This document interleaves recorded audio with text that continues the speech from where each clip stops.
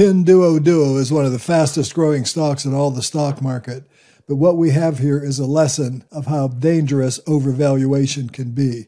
Even though this company is growing extremely fast, you can see that it became excessively valued far ahead of what fundamentals would warrant or dictate. And then once that happened, the stock price had crashed and collapsed over the next year and a half or so by more than 80%. Valuation matters, and it matters a lot.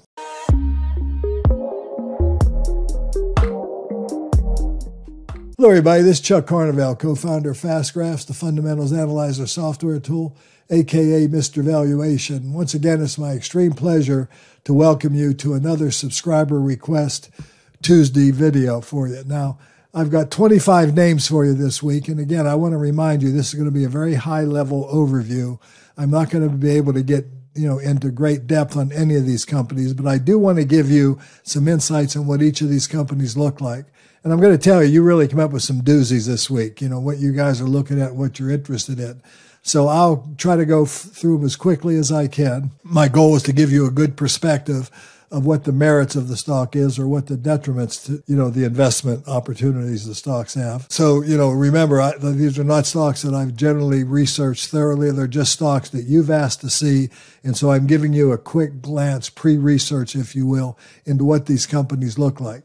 So let's start with the very first one, which is Agree Realty Corporation, which is a real estate investment trust. Now, I've been asked recently, how do you evaluate a REIT? Well, you know, a REIT is valued differently. You use operating cash flow or free cash flow to value a REIT. And with the FastGraph fundamental software tool, we automatically default into those metrics if you pick either free cash flow or operating cash flow. So, number one, you can see what the stock looks like. Adjusted operating earnings do not give you a fair picture because there's a lot of reasons for that when you're doing with the REIT. So, what you want to do is you want to go into operating cash flow.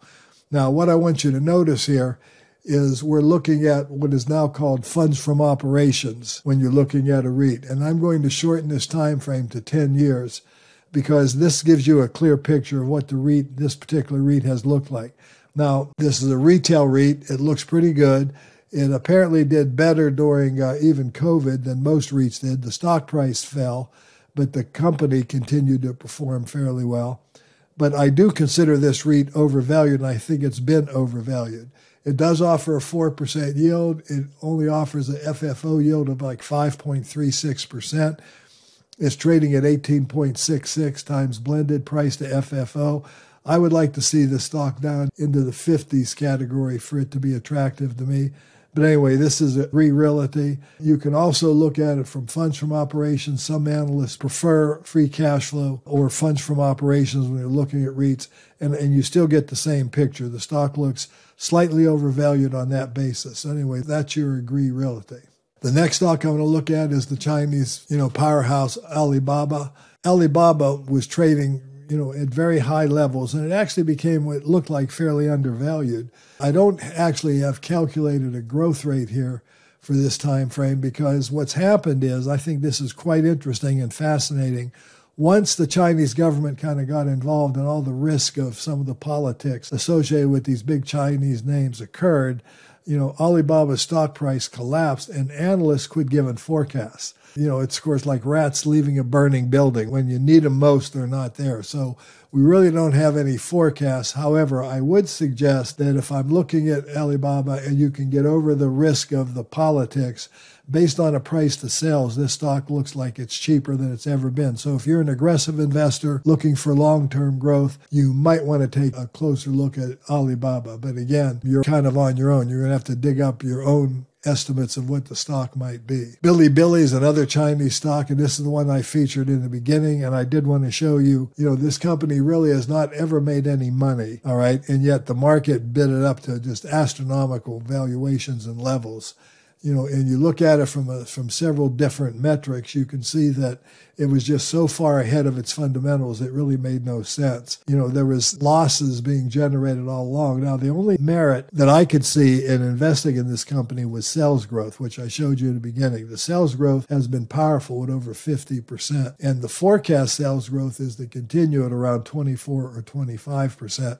And there's no long term growth rate. So this particular stock does have a lot of growth potential.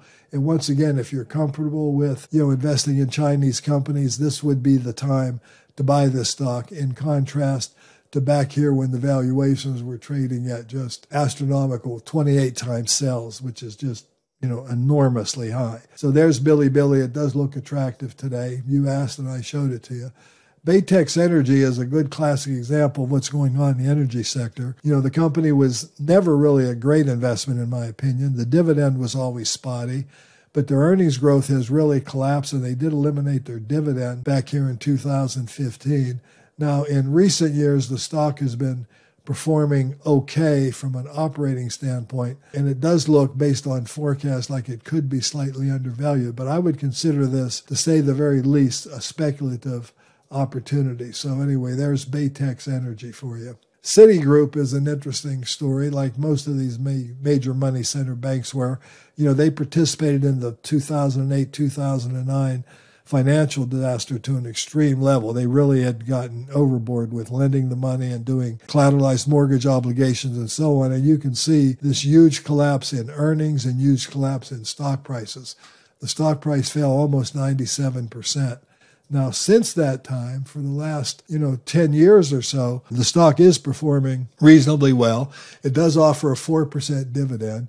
It's very inexpensive at five times earnings, has a very strong earnings yield of 18.77%. And so I think if you're ever going to look at a company, you know, forgive these guys for what they did in 2008, well, actually prior to that, but, you know, that collapsed in 2008 and 2009, now would be the time. But I do find it alarming that analysts are not looking for very strong long term growth in this company. And that'd be something you'd want to research thoroughly and, you know, take a much harder look at, you know, before you actually laid your money down. The next one is Comcast Corp. Now, I find this uh, so interesting in terms of valuation. You can see when the stock was really overvalued back here that it really did nothing. It actually performed negative performance for seven, eight, or nine years. Now, the company did begin to grow, and it started to grow at about 20% a year. And on that basis, the company looks very inexpensive today. If I shorten this time frame, the growth rate has slowed down to about 12.7%. The stock will look overvalued to me last year. It is now attractively valued. And if you look at it from a forecasting point of view, analysts are expecting about 12.5% growth over the next couple of years, and long term growth will be about 17%. So I think now would be a great time if Comcast is the kind of company you're looking for. It's a very high quality company, A minus rated, offers a 2.58% dividend yield. You can buy it at 12.5 roughly times blended PE ratio. So I think this is one that you might want to look at for a long term total return. The company is positioned to generate double digit rates of return over the next two, three, four, or five years. So Comcast looks very attractive to me finally after being a, an overvalued stock for most of the last recent history. CoreCivic, now this is a company that's involved in, I guess, rehabilitation of prisoners. I, I don't like stocks like this. You can see how important the company's operating results are by looking at CoreCivic.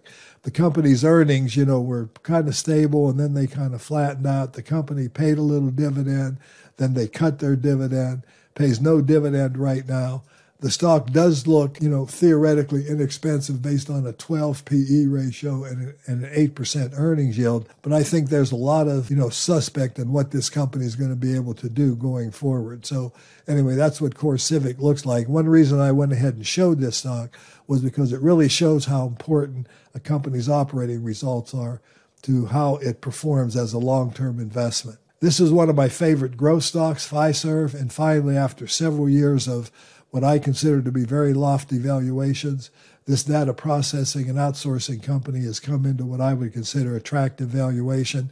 You can, you know, the stock is expected to grow at 15%. You can buy it at about a 16 PE. Earnings yield's a little light, but it is growing over 15% a year. Long-term growth be about the same, 14 to 15%. So, you know, this is the first time in maybe six years you'd had an opportunity to buy Fiserv. I consider this an extremely high quality company. It is a growth stock. It doesn't pay a dividend. It would be for those who are looking for a good growth situation long term.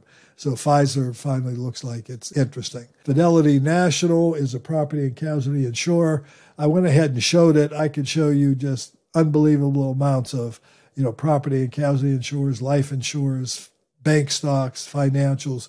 Financials are inexpensive right now. I would pick and choose if I were you, but you can certainly buy these at attractive valuations with very high dividend yields and you know you buy low sell high that's the whole idea and i think you'd be able to do that and fidelity certainly a very good property and casualty insurer, triple B investment grade rating. Geo Group, security and alarm systems. This stock is what I can say about this stock is it's real cheap, but this is simply not the kind of company that I'm interested in investing in. It's really difficult to see how, you know, this company can grow, you know, but it does have its allure. Now it did generate a lot of dividend income for a while it's eliminated the dividend. If you look at the long term performance, you know, it generated, you know, pretty strong dividend income over the period of time, almost $55,000 from January of 02. But again, now they've eliminated the dividend. And so, you know, it's one that I would be very cautious with. If you're looking to speculate, Geo Group might be an interesting one to take a look at. Gilead's a fascinating story. You know, Gilead, we all know the cure for hepatitis C. It resulted in an enormous you know, burst of their profits. Their profits jumped over 300% in 2014, followed by 56% in 2015. But then once they've cured all the hepatitis, you know, the, there was no real sales going on anymore other than incremental new people and the earnings collapsed and, you know, the company's now you know, looking like it's not going to grow very fast going forward, but it is very inexpensive. It only trades at eight and a half times earnings. So, you know, if you look at this company from a standpoint of price to sales, sales have been really relatively flat over the last, you know, several years. So, you know, that's something to think of. Again, what this has got going for it, it has a high yield, a good dividend record, and it's real inexpensive. The question is, you know, is that enough reason for you to want to invest in it? I would recommend doing your homework and your due diligence here. HCA Healthcare owns hospitals and other um, healthcare facilities. It's a very good company, only has a double B plus rating. It did cut their dividend during COVID, which was understandable. The stock is very inexpensive at 12 times earnings, modest dividend yield of 1%, earnings yield of 8%. You know, the company is forecast to grow at about 7%. And if it traded at a normal 15 PE ratio, this would give you a you know 15 to 20 percent rate of return out over the next two to three years. Long-term growth is still also expected to be about seven percent, and that would give you double digits as well. So this is one that you know you might want to take a closer look at if you're looking again for total return with a dividend kicker. Himax Technologies, semiconductor company, it had a very big profit surge here in light of you know the scarcity of the automobiles. It does a lot of navigation devices and chips for the uh, semiconductors for that industry. However, analysts are expecting earnings to level off and get back to a more normalized situation. So there could be a lot of bad news facing you in the future if you took a look at this. Once again, it's only trading at three times earnings and has a 2.76% dividend yield. So something like this could have very strong speculative appeal. But again, I don't know that I would necessarily call this investment grade but it's an interesting opportunity. Medifast, you know, multi level marketing, direct marketing. Some people like it, some people don't.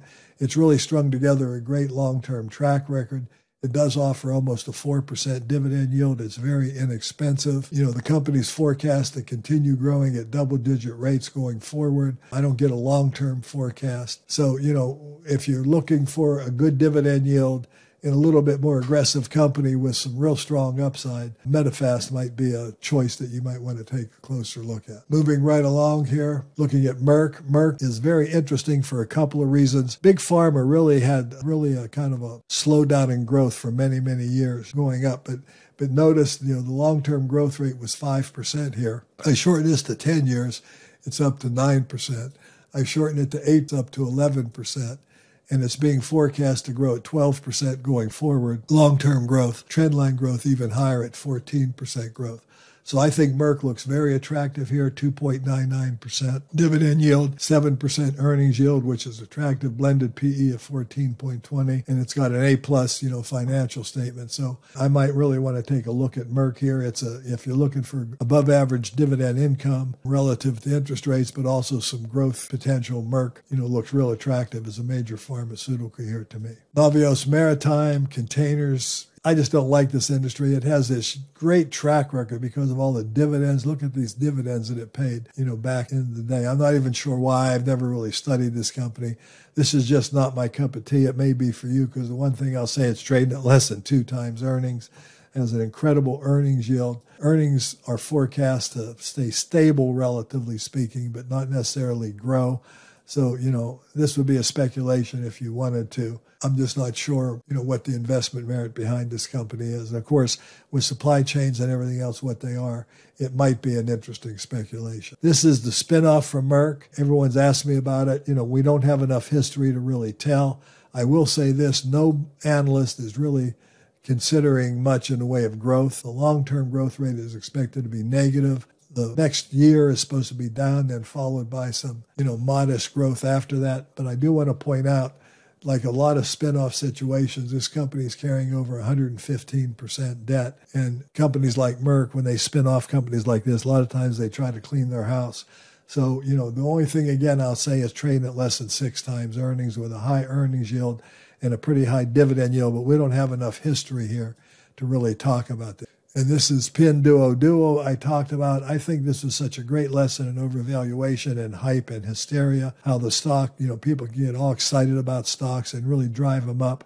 And then, you know, we hit some political issues and so on over the last year and a half or so, and the stock has really collapsed. And frankly, I don't think it's really necessarily cheap enough. But if you were going to buy it, it makes a heck of a lot more sense to buy it now than it did earlier. They're not giving any long term growth love here at all, only looking at 2% long term growth, but looking at pretty strong growth over the next couple of years. Again, there's a lot of politics involved here as well. But, you know, I do want you to notice how far this stock has corrected in just a really relatively short period of time. Pfizer, very similar to Merck. As I shorten the time frame, you know, I get this big jump from the, uh, I guess it was from the COVID vaccine, if you will.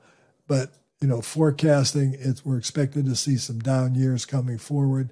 I like to point that out because, you know, what you're facing, you got a nice 3% dividend yield. It's only trading at 10 times earnings, and it's probably a good investment here. And I actually am long this stock, at least temporarily. But I will tell you, facing this kind of future, you want to really be on your toes when you're investing in a stock like this you know, analysts are expecting long-term growth to be minus 2%, but part of that is normalizing from some aberrantly high earnings, you know, that came as a result of the COVID pandemic. But again, this is one you'd want to be careful with because there's definitely pending bad news coming, apparently. Now, that may not come to pass, but that's something you should be cognizant of. This is a stock that I really like, Parker Hannifin Industrial Machinery.